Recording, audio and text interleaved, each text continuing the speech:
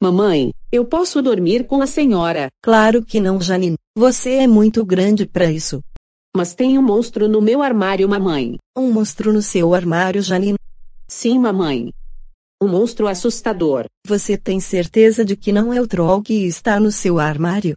Não, mamãe. Esse monstro está fazendo sons muito estranhos dentro do meu armário. Como assim sons estranhos, Janine? O monstro está falando um monte de coisas sem sentido dentro do meu armário. Você tem certeza de que não é o idiota do troll que está dentro do seu armário, Janine? Sim, mamãe. O careca esquisito fala coisas estranhas. Mas nem tanto assim. Então é melhor eu averiguar isso para tirar isso a limpo.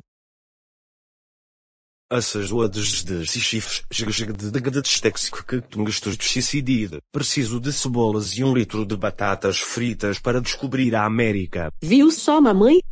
Eu estou com medo. Acho que já desconfio de quem seja. Apaguem as luzes e os outros insetos. Eu ainda não terminei de hibernar e comer mariposas. Eu não te disse que devia ser o idiota do troll que estava no seu armário, Janine. E pelo visto ele está bebado de novo. Ué. O careca esquisito era o monstro do meu armário. Isso mesmo, Janine. Mas o careca esquisito está meio estranho, mamãe. Verdade, Janine, mas isso é bem fácil de se resolver. Acabo de descobrir um novo planeta. Eu vou batizar ele de